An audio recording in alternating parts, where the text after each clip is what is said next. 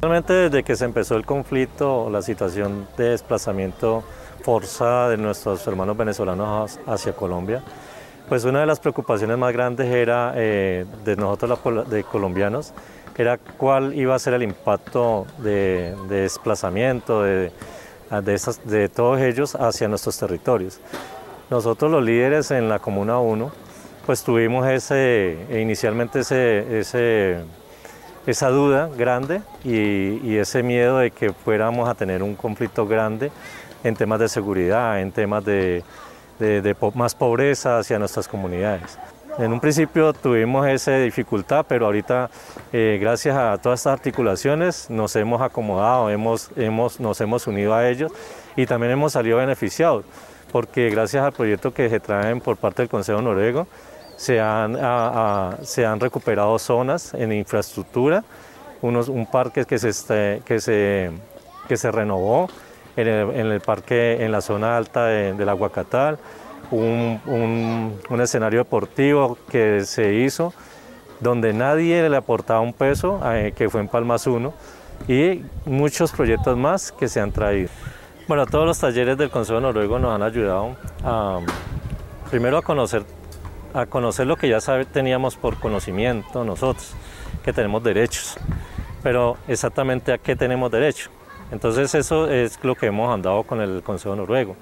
¿A qué es lo que tenemos derecho? Así como nosotros como población colombiana tenemos derechos,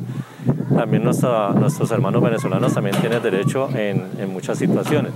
Y es donde el Consejo Noruego nos ha explicado que ellos tienen derecho al tema de salud, que tienen derecho a, la legalidad, que tienen derecho a, emprender aquí en, en, sus territorios, en el territorio donde estén. Todos esos derechos los hemos aprendido y los estamos llevando a cabo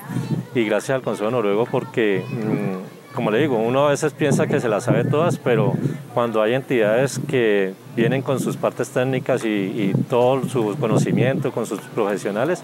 pues le aterrizan más a uno todas las ideas y todos los conocimientos. Fuera de eso es replicar ese, ese conocimiento a, otras personas que tienen muchas dudas es algo, algo muy bonito, porque hay muchos colombianos que a veces, eh, pues perdona ahí por algunos casos que dicen que por qué para ellos sí y por qué para los colombianos no. Pero entonces es donde, ahí es donde entramos nosotros desde la parte de, de, capacitación con el Consejo Noruego a explicarles a las comunidades colombianas, a nuestros hermanos colombianos, por qué se presenta la situación, por qué se trabaja con ellos,